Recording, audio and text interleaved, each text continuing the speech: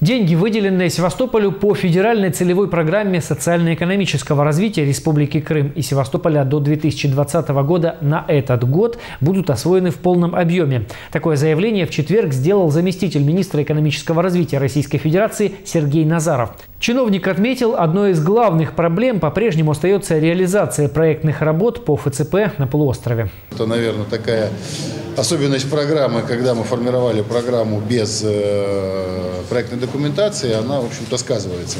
Поэтому это вот как раз опережающее проектирование позволит более эффективно э, начинать строительство и более качественно, собственно, готовить эти проекты.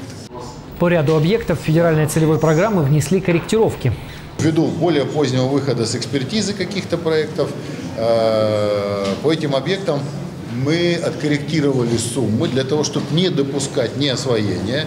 И эти деньги были перенесены на те объекты, по которым гарантированно будет освоение средств.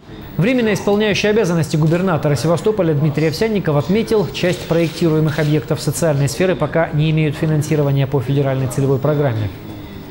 Мы в понедельник на заседании аппаратной нашей озвучим 80 объектов социальной сферы, которые мы запускаем в проектировании, начиная с 25 августа. Заняли простую э, позицию. Мы будем лучше готовы с ПСД, с проектной документацией и перейдем за соответствующими ресурсами. Вот такой логики плановой, чтобы э, выполнить все работы, а не спотыкаться на каждом шагу, мы готовимся к последующему этапу.